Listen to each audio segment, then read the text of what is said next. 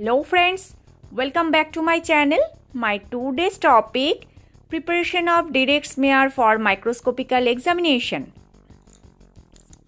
Preparation of direct smear for microscopical examination.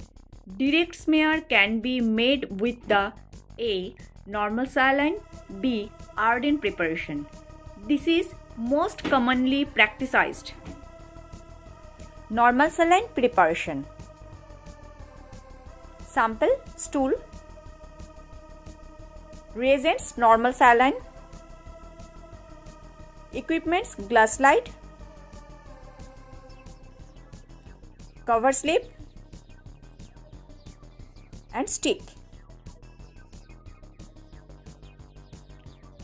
A. Saline preparation. A small drop of the normal saline is put on a slide and a small portion of stool is taken on the head of a stick from the representative area and mixed with saline drop. Number 2. Then the mixture is covered with a cover slip. The preparation should be the thin enough allow the newspaper prints to be read through the saline smear.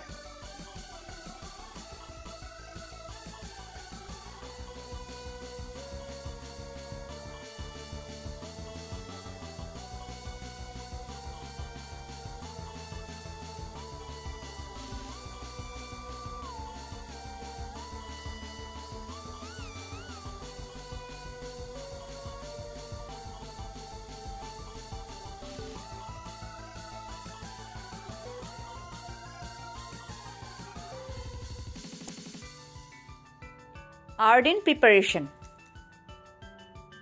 Reagents Lugol's iodine. B. iodine preparation.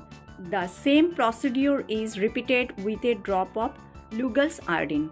The preparation should be several from different parts of the same stool if only this procedure is followed.